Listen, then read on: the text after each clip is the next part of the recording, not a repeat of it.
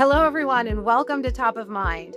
I'm Mary Mesaglio, and today I want to introduce a three part Top of Mind series that we are kicking off. This is based on findings from the IT Symposium keynote that we did late last year, and we want to give you a little bit of an update.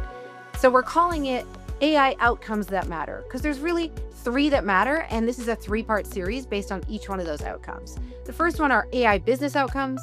The second one is AI technology outcomes. And the third one is AI behavioral outcomes. Anybody who's serious about AI has to care about all three of these outcomes. So let's kick off this video with AI business outcomes. To give you a little bit of context, a lot of CIOs and IT practitioners feel like in the Gartner hype cycle, they actually feel like they're at the peak and in the trough at the same time. And that's because there's actually two AI races taking place at the same time. The first race is in the industry. If you're a CIO or an end user organization in IT, this is not your race. This is the race of the hyperscalers, racing to get crazy valuable, crazy innovative AI outcomes, and they're going all out. This isn't your race. You're not in it. You have to watch it. You're a spectator. You have to know what's going on, but you're not running in this race. But you are running in some kind of race. And your race is the race to deliver AI outcomes safely and at scale. And it turns out this is really hard. The pressure's on. CEOs believe that AI is the technology that will most impact their industry. The number of CEOs who say this goes up every year. Last time we asked in late last year in 2024, the number of CEOs who said AI would most impact their industry of all the technologies that was that were out there was 74%. So it sort of feels like you're at the peak because there's this relentless innovation every week. Something game changing seems to happen. But then it feels like you're also in the trough because it's really hard to get value. There is no Harry Potter magic wand just saying this is as easy as using Chat GPT. It's actually a lot harder than that. So today I want to talk a little bit about where AI business outcomes are and give you a little bit of an update. So the first thing I want you to know is that there are three types of business case for AI, not just one. So a lot of times uh, we get questions like, what's the ROI? What's the ROI of AI? Where's the ROI, etc. And ROI is one of the business cases, but it's only one. There's actually three. There's ROE, ROI, and ROF. So ROE stands for return on employee, or some of us call it return on enterprise. The first thing to know about return on employee is this is where you're applying AI to get outcomes that are about personal productivity, like summarizing this email, this this video, or generating an email for you, or translating it into Spanish, for example. These are all examples of personal AI productivity using technologies like Microsoft Copilot or Google Gemini or Apple Intelligence or whatever you're using. And a lot of times we get asked, what's the ROI of this? And the cold hard truth is there isn't one. This isn't an ROI play, it's an ROE play. It definitely delivers a return, but it's not a return on investment that you can measure in financial terms. It's a return on employee that you measure in employee engagement, employee well being. So, asking, hey, what's the return on my personal AI productivity tool of choice? What's the ROI of that? Is a little bit like asking, what's the ROI of email? It's a little bit like going into a car dealership and saying, "Hey, can you just I just want to shave off some money. Can you just sell me the car with 3 tires instead of 4 tires?" People would look at you and go, "That's an absurd question." Just like if you said, "What's the ROI of email? Do we really need it?" You would say, "You just need it." So ROE is a cost center in that you're not going to get a financial return. And that's hard for people to believe because or hard for people to accept because you have this big number of the cost and you're not going to get this commensurate number on the other side. You do get return, it's just not in financial terms. That's ROE. Really valuable, really valuable from a talent attraction and retention perspective, but not an ROI play. Then you have the ROI play. This is classic ROI. This is where you apply AI in some kind of process or workflow that you already deeply understand. And you're going to apply it here to extend, enhance, improve, ameliorate, sustain what you already do. So you're taking AI and making something you already do better.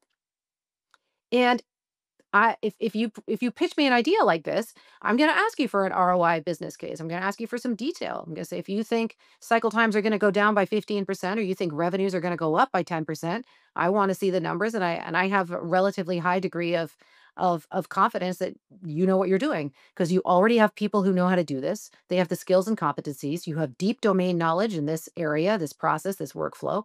And so you're saying I'm going to apply AI to get some kind of benefit that I kind of understand. So I'm going to hold you to it. It's a classic ROI play. Here, you're looking at the same business metrics as you'd be looking at for anything else decrease in cycle time, decrease in risk, increase in profit, increase in in revenue, right? There's no special AI metrics here. You're going to be held to the same ROI metrics as you would for anything else.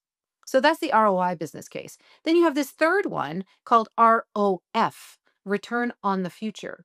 This is also not an ROI play because this is where you're going to place a bunch of strategic bets. Not everyone's going to do this. You're going to say, look, I'm going to act like a venture venture uh, investor. So I'm going to place nine bets in full knowledge that eight of them aren't going to work. They're going to fail spectacularly. But the ninth is going to pay for the other eight. This kind of investing is only for people who have really big AI ambitions, really want to be first in their industry or rewrite the rules. It's not for everybody. It's not for the faint of heart. It's definitely not an ROI play because you don't know enough to make a bulletproof business case of whether this is going to work. And if you do do a bulletproof business case, you're probably kind of making up the numbers, not because you're not working hard enough to analyze, but because you can't know unless you do it. You don't know if customers are going to find this creepy. You don't know if people what the market uptake is going to be because it's so new. But you want to invest anyway because you want to be first, you want to be disruptive, you have big ambitions. So, the first message I want to say about AI business outcomes is consider managing these three types of value ROE, ROI, and ROF like a portfolio. So, rather than asking, what's the ROI on that? Ask, how much money do I want to invest in ROE versus ROI versus ROF, right? So, you know, making a crude analogy, investing in ROF is like investing in crypto, right? I mean, it's it's uh it's uh, considered to be a more volatile, risky asset class, but maybe big upsides.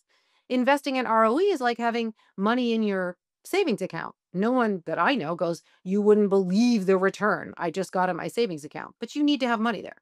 And investing in ROI in, in is like investing in an ETF or an indexed fund, right? It's supposed to be balanced. You're supposed to be balancing your risk, etc.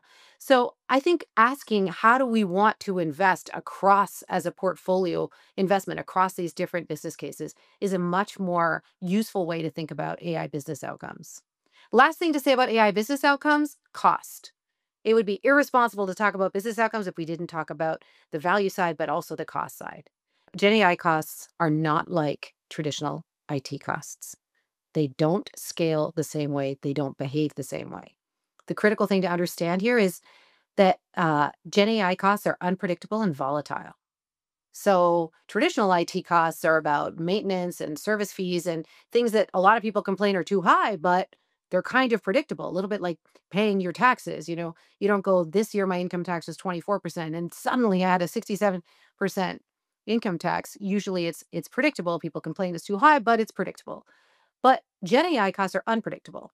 And people are off by their in their cost estimates by sometimes 500 to a thousand percent.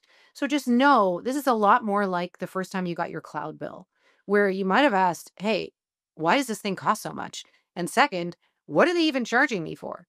So really make sure you are exploring and understanding cost models before making a big leap. So that's AI business outcomes. If you want to geek out a little bit more on this, check out the links in the notes.